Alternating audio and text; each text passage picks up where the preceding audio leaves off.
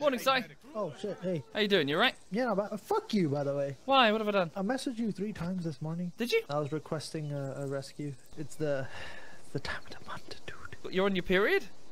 No, not not my period. Oh, I went to get the groceries with Maya in the car, and then on the way back, she looks at me and she just goes, "I'm hormonal," and I'm like, um, um. She was just looking at me and she was just asking all sorts of questions, like, "Are you cheating on me?"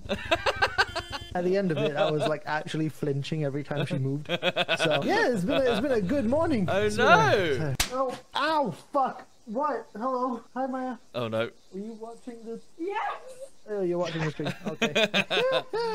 Hi, Gorty. Thank you for making me out to be a mentally unstable person. Like, I would totally wasn't joking in the car at all. As if your behaviour in the last few months in the chat hasn't already well established that with everybody. He called you mentally unstable. what the fuck? Why are you hitting back at me? You okay? I what? You okay? I love you.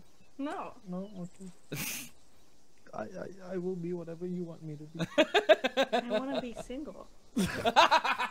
wow.